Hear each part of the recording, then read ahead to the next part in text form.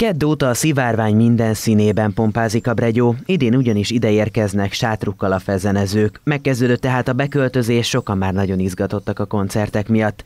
A Jubileumi Fezen Fesztivál szerdán startolt, viszont azok, akik a pandémia alatt vásárolt jegyeiket nem váltották vissza, kedden egy VIP bemelegítő bulin vehettek részt.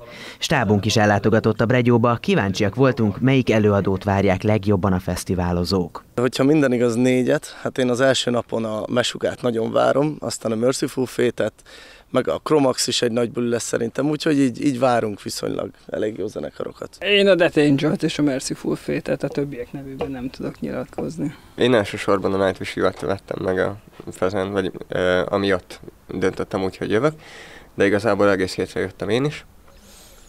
Hát a scooter az engem is érdekel amúgy. Vannak, akiknek nem felhőtlen a mosolyuk, a fesztiválozók közül néhányan úgy vélik, jobbak a körülmények ebben a kempingben, mint a First Fielden, de nagy a távolság a helyszínek között.